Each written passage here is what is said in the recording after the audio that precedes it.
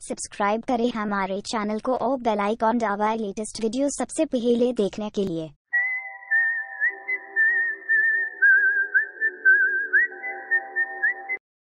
मैंने online MI और Samsung दो बैटरियाँ मंगवाई थी पावर बैंक ये पच्चीस हज़ार एमएच की है, ये बीस हज़ार एमएच की है।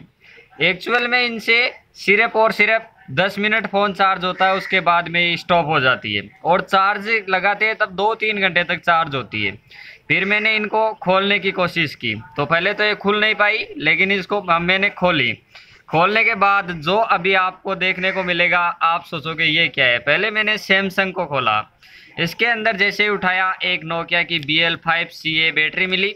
और साथ में हमारे को पागल बनाने के लिए प्लास्टिक के सेल, जिनसे वज़न हो सके, इन सेलों में कुछ भी नहीं है। ये प्लास्टिक के सेल है, कुछ भी नहीं है।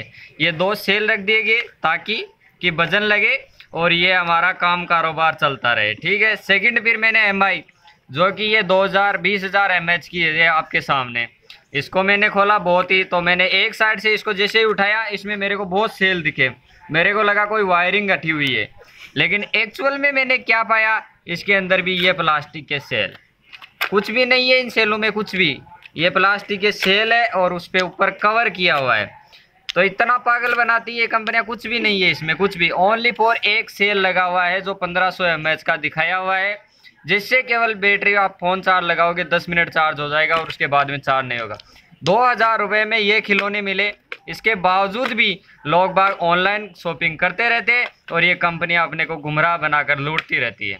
ओके इस वीडियो को ज़्यादा से ज़्यादा शेयर करें और यहाँ जब तक अगली कंपनी के पास नहीं पहुँच जाए, जब तक शेयर करें। Thank you